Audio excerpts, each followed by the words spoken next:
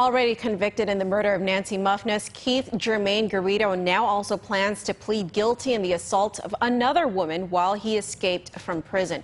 The parties were in court today, initially for Garrido's sentencing in the murder case. Instead, Garrido's defense attorney, Stephen Hattori, asked to reschedule the sentencing in that case because a new plea deal had been reached for the home invasion case. In the home invasion case, Garrido is accused of escaping while he was being transported to court for a hearing, then breaking into a woman's home and assaulting her.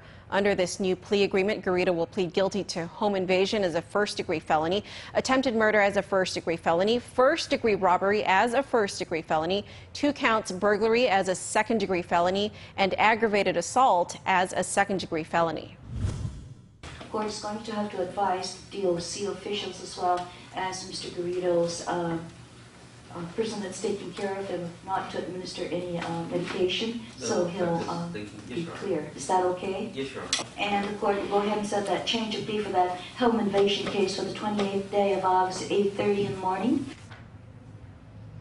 If the plea agreement is accepted, the AG's office will agree to dismiss charges of kidnapping as a first degree felony, aggravated assault as a third degree felony, ordinary escape as a misdemeanor, and assault as a misdemeanor.